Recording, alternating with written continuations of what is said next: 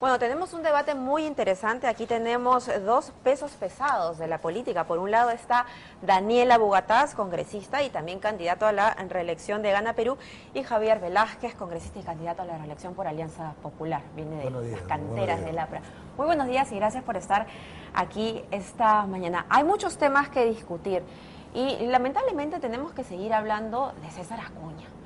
Es decir, eh, esta situación en donde él parece que podría estar en desventaja en las próximas elecciones y también la salida de Guzmán, la probable salida de Guzmán de la carrera, podría beneficiar a cualquiera de los dos.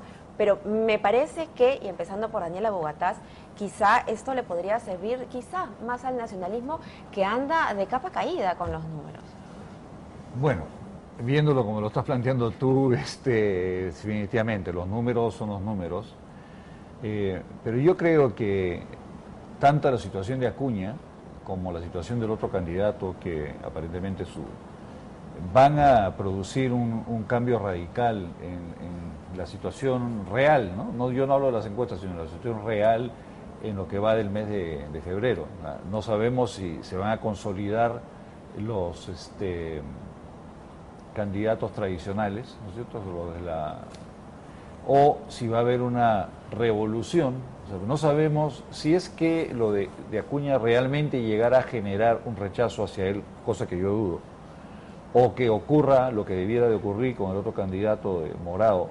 Eh, ¿Hacia dónde van a ir esos votos? ¿Usted cree que el hecho que Daniel Urresti se haya sentado en el polígrafo, se haya sometido al polígrafo, esto le, le sume votos? Eventualmente, eventualmente. Yo creo que a mí me han consultado si me quiero sentar frente a ese polígrafo y la verdad que, que no, no creo que lo haga, honestamente te digo. ¿Por qué? ¿Porque no puede decir toda la verdad o, porque Yo tengo una credibilidad que me he ganado a pulso en la, en la política eh, y exponerte a ponerla en duda frente a un polígrafo eh, donde además te pueden preguntar cosas que no tengan necesariamente que ver con la política y que se puedan tirar. En el caso de él, él sí ha demostrado entre preguntas eh, cruciales, ¿no es cierto? El tema Agustios, el tema eh, que se ordenó o no ordenó, la situación de él, eh, yo creo que en el caso de él sí le favorece. Señor eh, Velázquez, mañana el jurado define la situación del candidato Guzmán. ¿Y cuál sería, según usted, el mejor panorama? ¿Que el señor Guzmán se quede en la contienda electoral o que, según los reglamentos y tal como parece que puede ocurrir, el jurado vete su candidatura? La ley debe cumplirse para todos, pero yo sí creo que el caso del señor Acuña donde vemos a un, a un señor inescrupuloso eh, eh, que, cree que un plagio es una criollada, que nos ha llevado de la, eh, de la actitud de plagiar libros a apropiarse, a apropiarse de lo producido por su profesor y hacer, mostrarlo como él. Eso se llama robo. Yo no lo entiendo, de verdad, hasta ahorita, cuál es la lógica de quienes lo rodean, gente que está muy vinculada a, luchas contra la corrupción. Yo no entiendo qué diferencia hay contra un funcionario que se roba 5 mil soles del Estado con uno que le roba las ideas a otro. Eso lo descalifica moralmente. Y en el caso del señor Guzmán, yo sí creo que él debería ser habilitado para que postule. El hecho de que haya una falta administrativa no puede restringir un derecho superior, que es el derecho a la participación política. Yo les quiero decir a ustedes lo siguiente, los organismos electorales se han vuelto 10 contralorías te ponen 1.500 requisitos. Ahí mismo el periódico ha salido que el APRA no ha rendido cuenta de sus gastos en el mes de enero. Cree que tenemos una infraestructura como ellos para poder estar dando cuenta cuando lo primero que estamos haciendo es organizando nuestras listas. Entonces, no hay que eh, asemejar lo del señor Acuña con lo del señor Guzmán. Si lo del señor Guzmán, que están cuestionando que la Asamblea no tuvo los miembros eh, que establece su estatuto y que por ende esa decisión habría sido nulo, yo creo que todo lo que sea administrativo, es mi apreciación personal, yo creo que todo lo que sea... Perdón, perdón, Daniel. Yo creo que hay que dejarlo que corra, yo creo que hay que ganar en la cancha. lo que sí creo, y ¿sabes por qué te lo digo? Porque el Perú, el Perú no quiere un rostro nuevo, quiere que gobierne un buen presidente. Entonces, a medida que pase la campaña, a medida que vengan la semana las propuestas, el Perú se va a dar cuenta, no puede votar por una aventura. La aventura de la inexperiencia, la incompetencia la estamos gozando. ¿Por, qué lo señala el candidato a Bogotá? ¿Se lo dice por el señor Urresti? No, no, yo lo, digo por, yo lo digo por los cinco años perdidos, señor Humala, por el desastre de ese gobierno, por votar por lo nuevo. Mira lo que pasó. Yo no creo que los peruanos, yo no creo que sean los peruanos, eh, permitan que cinco años más venga una aventura del rostro nuevo que no tiene nada atrás de sí, que supuestamente está capitalizando toda la indignación que hay contra las agendas de la señora María Heredia, todo eso. Yo, creo que ya está demostrado eh, cuál es eh, la línea de campaña que tiene el APRA, ¿no es cierto? Le tienen pavor a lo nuevo, definitivamente, o sea, porque ya no es el primer candidato de que hace referencia a la necesidad de mantener a los históricos, ¿no es cierto?, a los dueños del club, nosotros que nadie eh, nuevo entre. Pero el otro tema es muy delicado, lo que está diciendo el congresista Velázquez Quesquén. O sea, resulta que sobre, el, sobre la base del pretexto de que todos tenemos derecho a participar, nos zurramos en todas las normas electorales.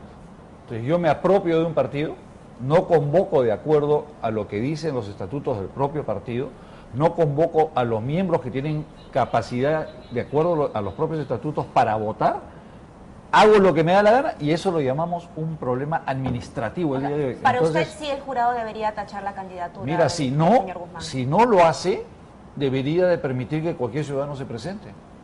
Porque si, la, si los partidos políticos dejan de tener importancia y ya no juegan un rol dentro de la política peruana, entonces mañana que el señor Isaac Humala, mañana que quien quiera presentarse, porque si no vamos a respetar las normas... Al señor Isaac Humala ya el jurado dijo que no, no entra en carrera. Claro, entonces... Eh, eh, pero yo quería seguir con, con, el tema de las encuestas porque, claro, han dicho recién estamos en campaña, ¿verdad? Los nacionalistas.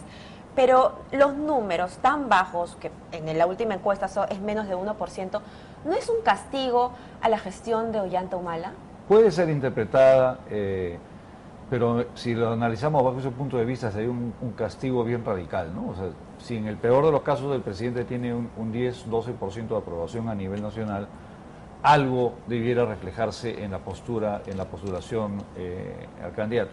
Yo creo que la situación reflejada en la última encuesta es producto de nuestros propios errores. O sea, nosotros eh, justamente en esa semana fue donde tuvimos eh, estas crisis públicas respecto a las listas al Congreso y eso nos ha pasado un facturón. O sea, no una facturita, sino nos ha pasado un facturón. ¿Y hay algún error que haya cometido el APRA? Con ese criterio de Daniela Bogatas, ojalá que el defienda ustedes, ellos han elegido supuestamente hasta el 10, que era el plazo para elegir su lista parlamentaria, el candidato Urresti la, la ha cuestionado, han incorporado a Majara, están sacando a Benítez, Benítez, el hombre de la centralita que lo han llevado ellos, entonces quieren aparecer como los nuevos. Yo lo que sí creo, lo que sí creo que el nacionalismo le ha generado un gran perjuicio, perjuicio a la política peruana. O sea, que dos personas gobiernen el país cuando el pueblo eligió a uno. es, era evidente que el candidato del nacionalismo lleva unas mochilas más pesadas que cualquiera. Las de la señora Nadine, Por supuesto, la de la señora Nadine Heredia. El señor Abugataz, este, como, como todos los líderes legítimamente, ¿no? Este último año en el Congreso lo han utilizado solo para defender a la señora Nadine Heredia no lo has visto defendiendo, por ejemplo, al primer cateriano que defendía el lote 192, ellos en contra. Entonces, esta posición de una bancada insubordinada a una línea de gobierno de su líder, que ha generado un malestar no solamente en ellos, sino en el país, la, la, percepción que tienen los peruanos que no hay liderazgo, que no hay autoridad, que el crimen avanza, nos arrincona, evidentemente se expresa en las encuestas. Sí, pero un ratito, pues, un ratito, un ratito. No, no, no ¿Por qué quieres hablar tú toda la mañana?